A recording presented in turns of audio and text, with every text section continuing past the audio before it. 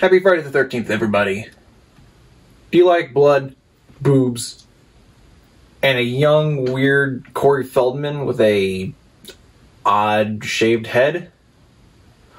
Well, then Friday the 13th, the final chapter, is great for you. Is right for you.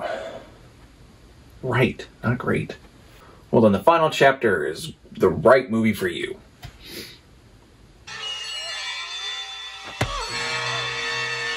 Yeah, get his ass, Tommy.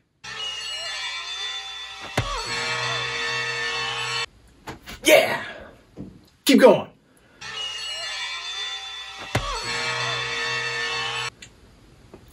I, I think he's dead.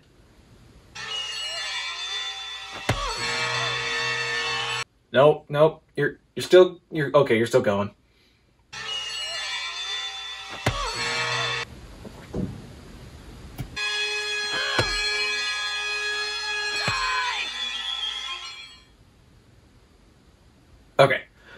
Anyway, this here was supposed to be the end of the franchise. But you know how that works. Doesn't end. It makes money, it keeps going.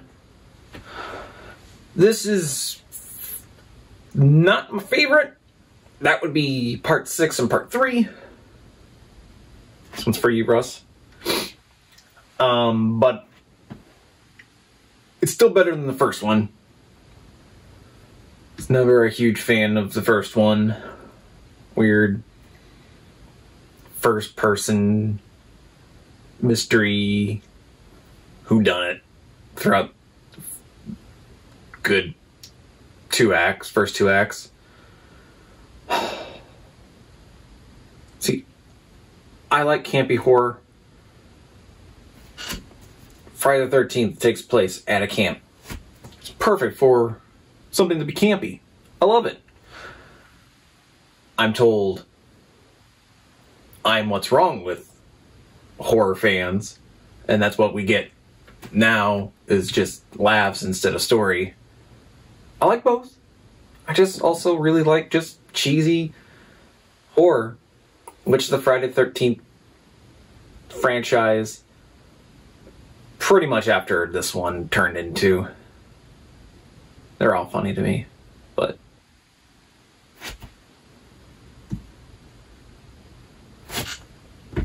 it's Jason Day. Go out and celebrate. I don't know how you're going to celebrate. What does that mean? You're going to go out and kill people that are, you know, doing all wrong things? Maybe don't celebrate. Don't maybe maybe go out and celebrate by watching the movie, but not doing what. Well, spoiler, I guess, for the next one. It's not really Jason. It's a imposter Roy Burns.